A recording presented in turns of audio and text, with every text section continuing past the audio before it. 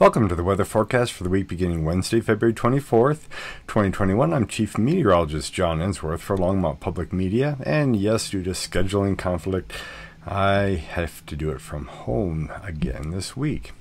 Saturday, February 27th, right at the end of the month, the moon will be full once again. Going all the way back to the notable Halloween, we've had our full moon right near the end of the month, and with a short month, well, it's working again.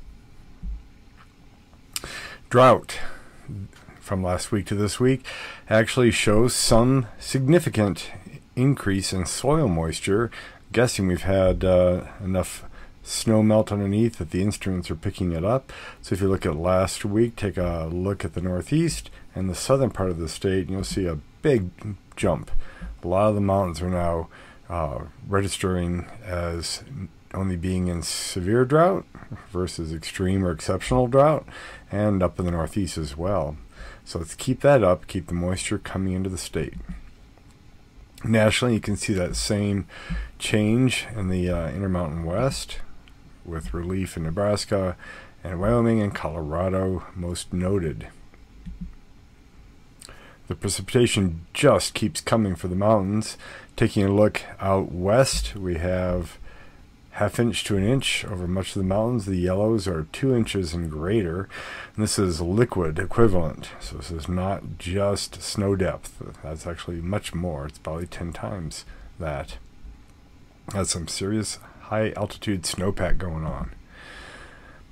The weather situation as we record shows a bit of a ridge over the west and with northwest flow coming off the mountains, we're getting some downslope. So Tuesday and Monday and even early part of Wednesday expected to be quite warm and gusty winds at times.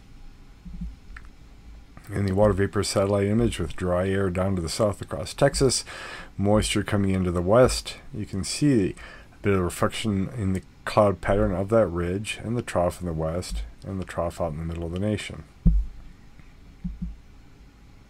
Looking at Wednesday morning, our next front begins to push down the plains all the way into Texas. Nothing like the last front, so it's not that cold at all. And then it'll slowly push uphill towards the mountains as the day goes on. So for Wednesday, somewhere around 4 p.m., you should see with thick clouds, snow begin to fall or maybe rain at first, changing to snow if the temperature drop doesn't happen quick enough, on into about 5 a.m. Thursday. It's a pretty good hit, uh, but it's pretty localized, the Denver Boulder region. Um, going further up near Red Feather Lakes, Fort Collins, not much. Going down around the Springs, not as much either. It's a small scale storm, just a little upslope period with some moisture from Saturday into Sunday, we have more iffy chance of precipitation, but it, it still could happen. I know where high temperatures are rising very significantly from 48 to 51 degrees over the next 10 days, taking us into the first few days of March, while the lows go from 20 to 24. So the nighttime average low temperature is starting to sneak up towards freezing. It'll be a while before we get there, but it's coming. So let's put the maps into motion for Wednesday. And Wednesday noon, you see this trough digging in, giving us our chance of snow. Brief ridge followed by Friday and then into Saturday, a better trough gathers itself out west and swings over on Sunday. You can see how a lot of the energy goes down to the south. Looking at temperatures, you'll see some really good cold air up here in Canada, but it it's kind of transient. It passes on by. The mountains get cold, a little cold into Texas. Pools there again, but nothing like last time. There's the real cold by Saturday. You can see it kind of enters into the northern tier of states and starts to skirt onto the east while we get another front.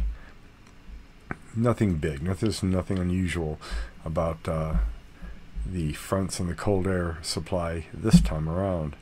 Precipitation equally not very impressive. You got if you blink, you'll miss it.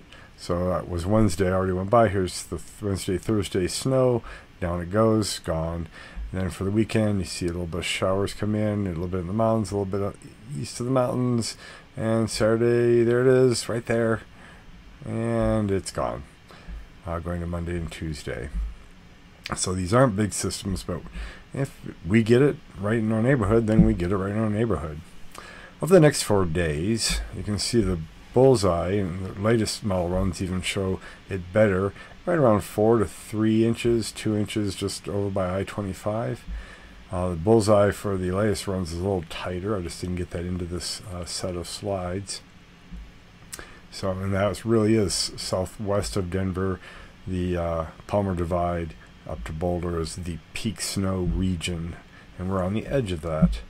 Now, looking at the next 10 days, the GFS goes kind of crazy with a foot of snow and more, two feet of snow uh, through Boulder, down to Colorado Springs, and just hugging the western and southern suburb regions of Denver. We'll see if that happens. I I don't see the storm that's actually making that yet, so um, hmm, not, I don't know what's going on there. But it was worth showing it, and we'll see if there's a story to tell later. So for the next seven days, we cool quickly to the 30s for Wednesday.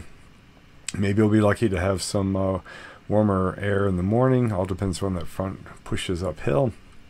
Thursday's definitely chilly, and we warm up a little bit for Friday and Saturday, getting to the 40s back to the 30s Sunday with after the next front passes, giving us a snow chance on Saturday.